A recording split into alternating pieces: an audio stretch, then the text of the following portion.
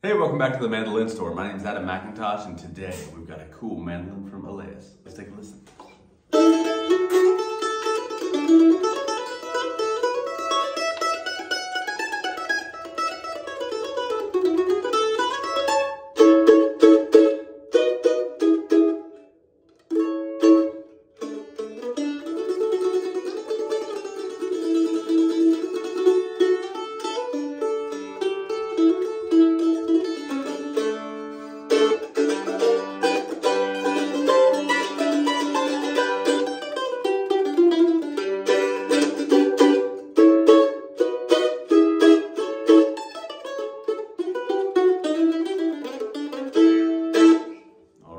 Absolutely premier mandolin. I love this mandolin. It's got an Adirondack spruce top, maple back and sides, has a spirit varnish, I'm sorry, spirit varnish top coat, but an oil varnish underneath. Um, it's good and lightweight.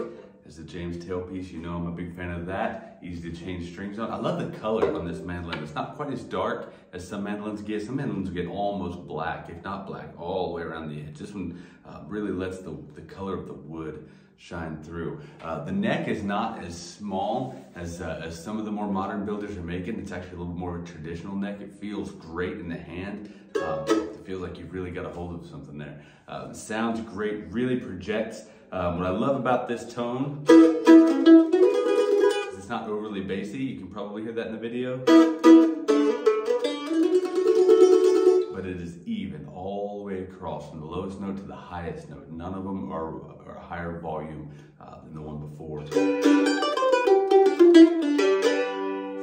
Great mandolin. If you have any questions about Aleyas mandolins, give us a call here at the Mandolin Store. Send us an email or make an appointment. Stop in and play it for yourself. We'll see you soon.